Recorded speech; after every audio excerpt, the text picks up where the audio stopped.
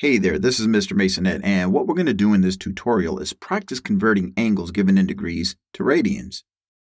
Now, what we're going to do first is we are going to review some of the more common angle measures that you're going to run across and what they are equal to in radians. And then after that, I'm going to show you how you can use the angle measure that you want to convert to radians to set up a proportion to solve. And at the end, I'm going to show you a shortcut for converting degrees into radians. Okay, what we have here on the screen is a unit circle. And what we should have committed to memory is that if you start at 0 degrees and you go halfway around your circle to 180 degrees, that would be equal to pi in terms of radians. So if you go all the way around the circle, which is basically 2 times 180, you would have 2 pi in terms of radians. Now let's say you go halfway to 180 degrees, which is 90 degrees. Well, you went halfway to pi in radians, so in terms of radians, 90 degrees would be 1 half pi, or pi divided by 2. So let's say you go back to 0 degrees and you count by every 90 degrees. For every 90 degrees you count, you would count that as half of a pi. So this would be half a pi, 2 halves pi, and 2 halves is the same thing as 1 whole, 3 halves pi, and 4 halves pi and 4 halves, or 4 over 2, is equal to 2, so we would express that as 2 pi. Now let's say we went halfway from 0 to pi over 2. Well, a half of a half is a quarter, so where the 45 degree angle is, which is half of 90 degrees, we could express that as 1 quarter pi, or pi over 4.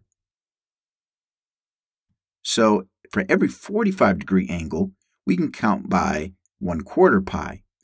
So here we have 1 quarter pi, 2 quarters pi, and 2 quarters is the same thing as 1 half. Right here would be 3 quarters pi, so I can write 3 pi over 4. And here would be 4 quarters pi, and 4 over 4 is the same thing as 1. Then right here, another 45 degree angle, we would have 5 quarters pi, so we can write 5 pi over 4. This would be 6 quarters pi, and 6 over 4 can be reduced to 3 over 2. And another 45 degree angle would give us 7 quarters pi. And if we go all the way around our circle, that would be 8 quarters, and 8 over 4 is equal to 2.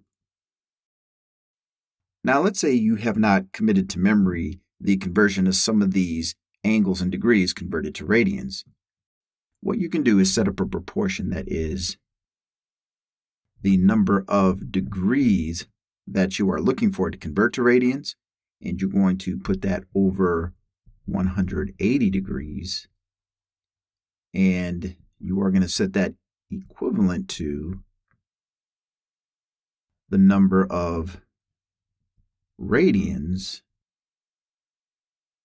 over pi.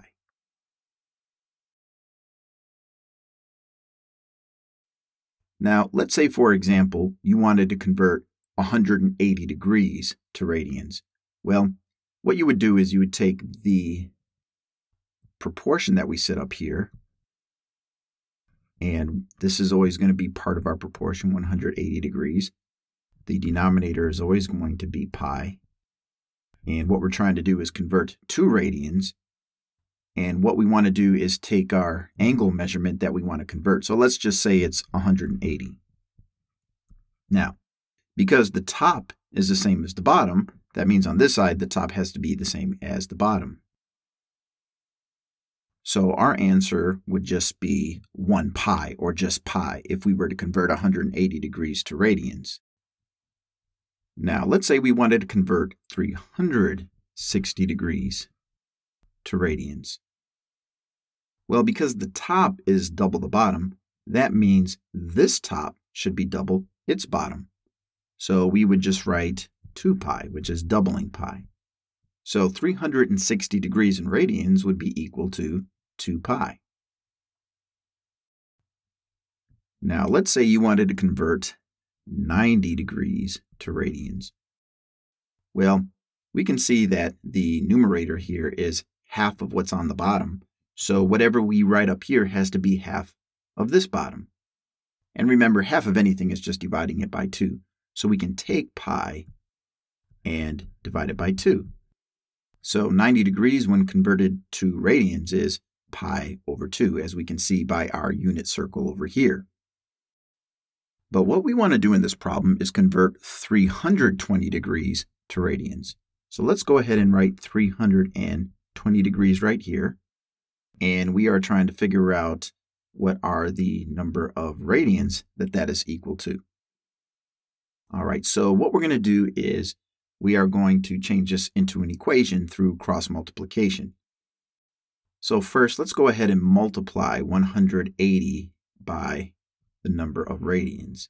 Remember, with proportions, you have to solve by cross multiplication. So we're going to do 180 times the number of radians equal to 320 degrees times pi. Now remember, we're trying to solve for radians, so we need to isolate this variable right here. So on the left-hand side of our equation, the number of radians is being multiplied by 180. So to isolate the r, what we have to do is take 180 and divide it by itself on both sides of our equation. So on this side, 180 divided by itself is 1. So that leaves us with just 1r.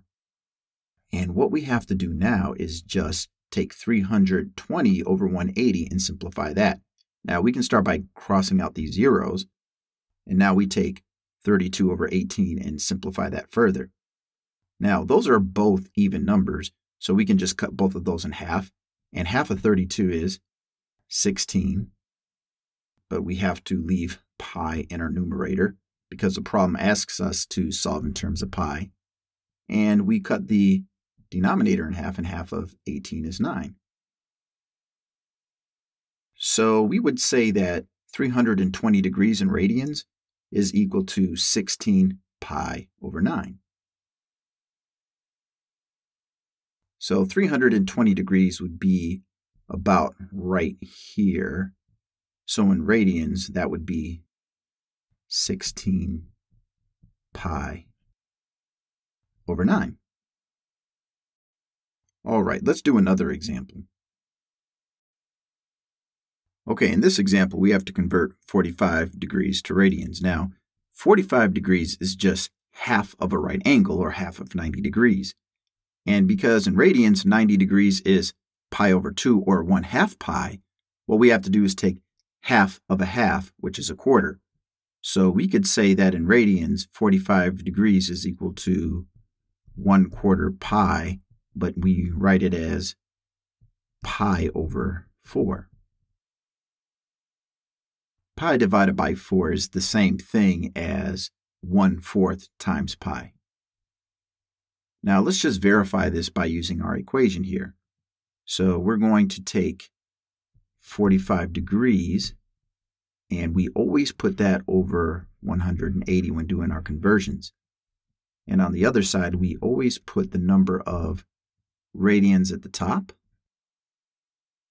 And on the bottom, we always put pi. Okay, next we cross multiply 180 with the number of radians.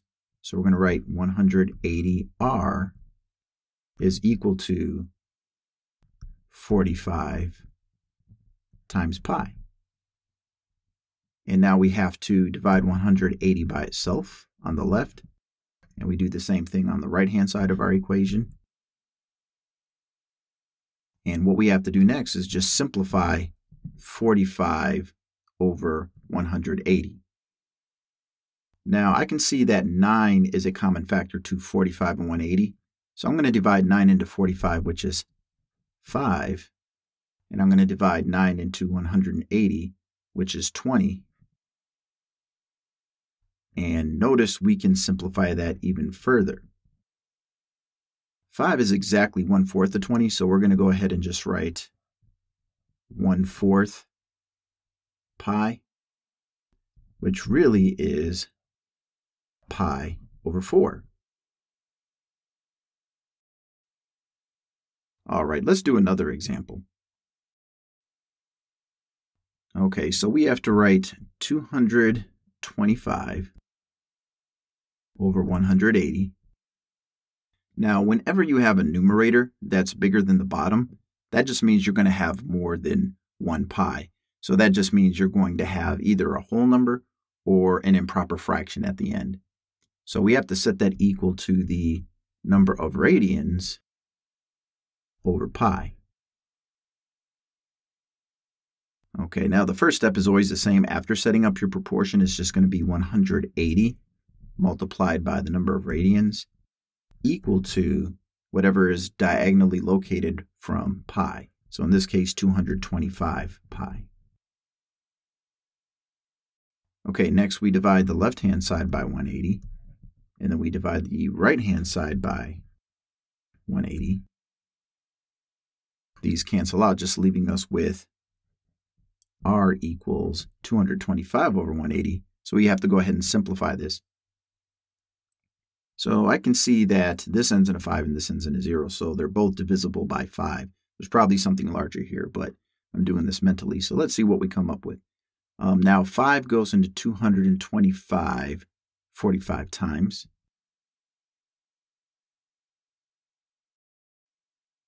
And 5 goes into 180, a total of 36 times. So at this point, we have 45 pi over 36. Now, 45 and 36 are both divisible by 9. So 9 goes into 45 5 times, and 9 goes into 36 4 times. And we cannot simplify 5 quarters any further, so our final answer in radians is equal to 5 pi over 4.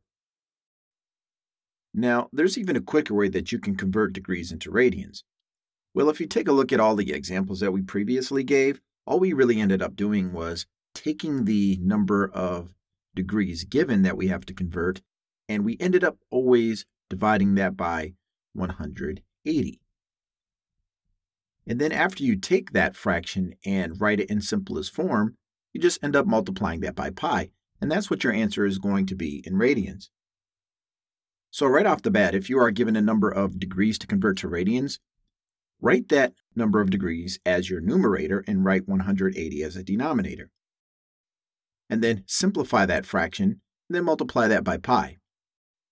For example, we can take 225 180, and we can reduce that by a factor of 45 on the top and the bottom.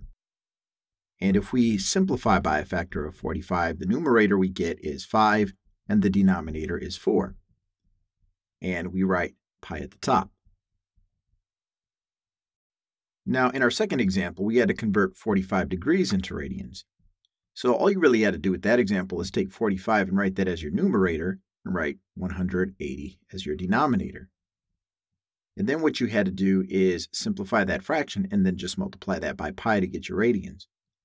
And 45 goes into itself once, and 45 goes into 180 four times.